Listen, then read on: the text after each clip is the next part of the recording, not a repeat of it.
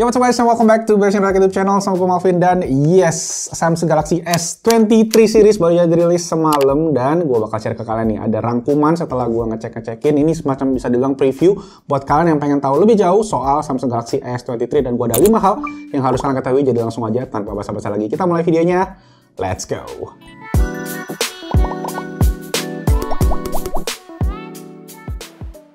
Oke, yang pertama dari segi desain, kalau kalian bisa lihat S22 Ultra ke S23 Ultra yang dummy ini, itu memang perubahan desain nggak gitu banyak. Jadi lebih banyaknya itu justru di S23 biasa dan S23 Plus ya, yang mana kamera BAM-nya itu udah ngikutin yang variannya Ultra ini, jadi nggak gitu ada frame-nya. Cuma memang yang menarik di sini adalah dari segi warna, di mana warnanya sekarang banyak banget, terutama yang online eksklusif ya. Itu kalian bisa pilih warna macam-macam, ada yang charcoal, ada yang lime, pokoknya keren banget. Dan yang kita pakai ini sekarang adalah yang sky blue, ini favorit gue sih, mungkin gue bakal pre-order yang satu ini.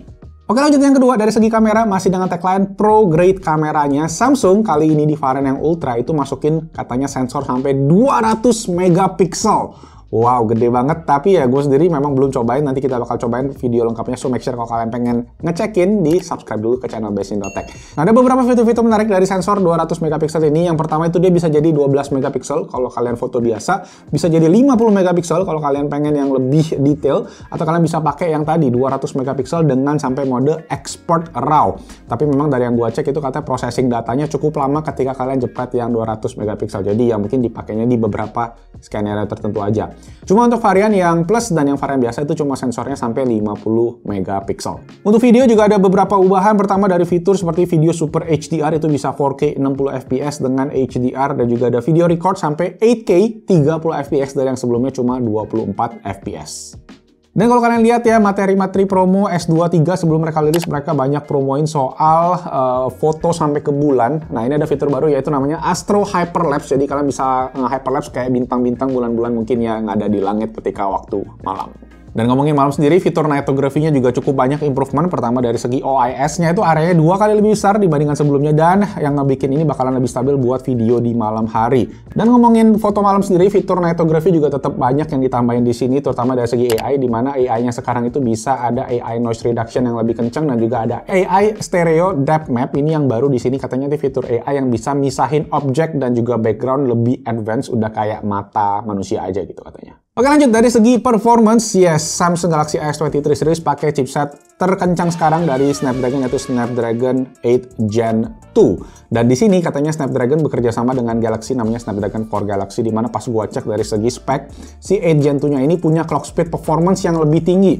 Nah ini gua bandingkan ya sama iQOO 11 yang performance core-nya itu tuh cuma 3,2 GHz dibandingkan dengan S23 series yang mana 8 Gen 2-nya itu performance core-nya 3,36 GHz. Jadi hampir 0,2 GHz lebih kencang.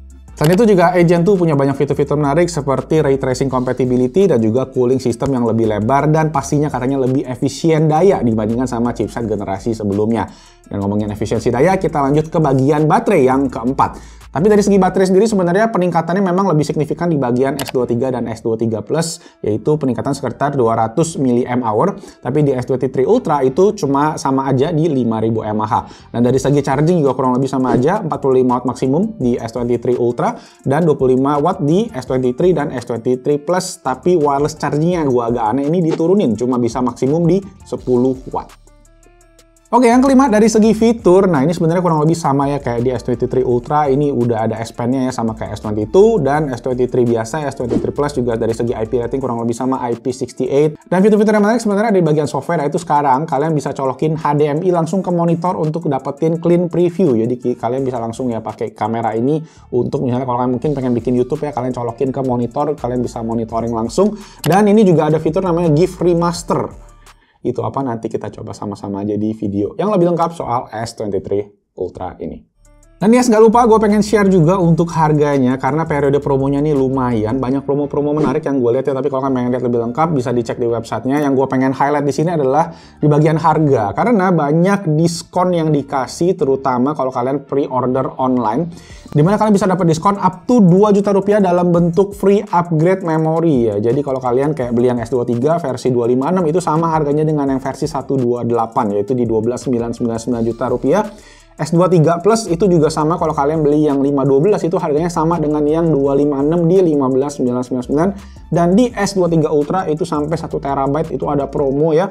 Harganya sama dengan yang 512 GB seperti kalian bisa lihat aja di yang satu ini. Ada free Samsung Care sampai 1 tahun dan juga ada bundle diskon-diskon yang menarik lainnya. Dan juga kalau kalian yang mungkin pengen trade in itu juga bisa banget. Tapi tunggu mungkin pas buka di offline. So yes, I think itu aja untuk 5 hal pertama preview yang harus kalian ketahui dari Samsung Galaxy S23 series. Kalau gue bisa kesimpulin sih dari segi uh, peningkatan kalau dibandingin generasi sebelumnya di S22 ini sepertinya minor banget ya sedikit banget. Tapi memang gue mesti coba lebih lanjut dan pastinya nanti kita akan review di YouTube channel Best Tech so make sure kalian subscribe. Tapi mungkin ini lebih cocok juga buat kalian yang udah pakai generasi-generasi sebelumnya mungkin dari yang kayak Note 10 series atau Note 20 Ultra. Ini bakalan cocok banget di upgrade ke versi yang S23 karena dari segi semuanya ini kayak lebih mateng ya. Chipsetnya tadi baru dengan power efficiency yang lebih oke okay juga. Kemudian dari fitur-fitur kamera juga pasti berasa peningkatannya dan yes, itu aja. Semoga videonya bermanfaat. Dan kalau kalian ada pertanyaan lagi, kita diskusi aja langsung di kolom comment section di bawah. Like kalau kalian suka videonya, jangan lupa juga subscribe buat pantengin coverage lengkap buat Samsung Galaxy S23 series. Dan nanti kita compare sama beberapa HP lainnya. Itu aja nama gue Malvin. Thank you so much guys for watching and I'll see you guys on my next video. Ciao!